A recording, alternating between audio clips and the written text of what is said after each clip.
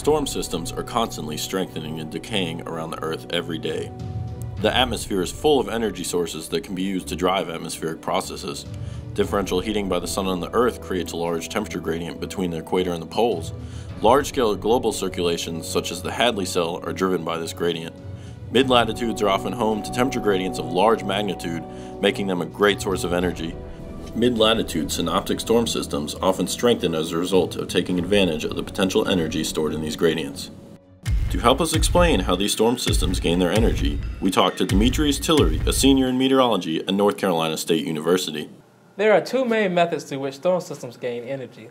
Baroclinic energy conversion is one of these. Baroclinic zones, or areas with a strong temperature gradient, are often a focus for storm development due to a high amount of potential energy that can be converted to kinetic energy. Let's take a look at how these work in a typical mid-latitude system. Here we have panel A. We have warm temperature on this side and cold temperature on this side, showing a strong temperature gradient because you have tightly packed isotherms. This means a high level of baroclinicity. We're going to take a cross section through this area right here and draw a new panel right here to show something else. So we have warm water, warm air over this side, and we have colder air right here, which gives us a center of gravity about right here, right along the middle, which means high potential energy.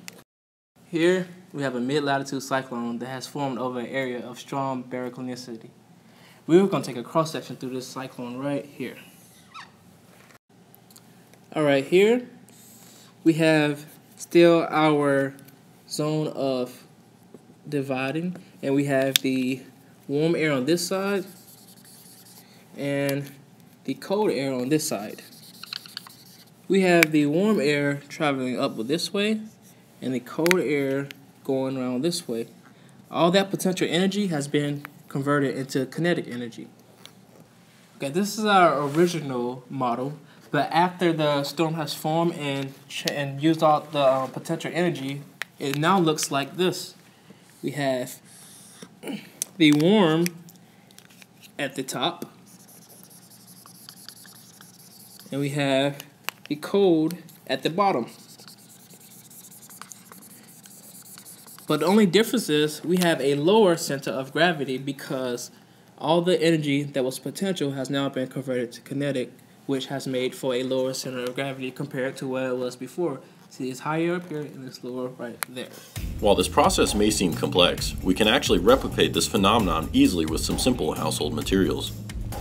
To demonstrate this process, you will need a clear container so that you can see the energy conversion as it happens. A clear glass bowl or plastic Tupperware would work well. You will need a divider that will act as a front between the air masses. Any kind of foam or rubber item that you can cut into appropriate size will work for this. This by itself may not be watertight, so you need a way to seal the edge of the divider against the container. This can be done without making a trip to the store, as you can make a simple flour water putty that can seal the edges of the divider. If you have some other putty on hand, like Play-Doh, this would work as well. Using warm and cold air would be extremely difficult in a project like this, so instead we'll mimic the density difference between the warm and cold air. To model the cold air, we will use water. The warm air will be modeled by the oil. Since warm air is less dense than cold air and oil is less dense than water, this is a good analogy.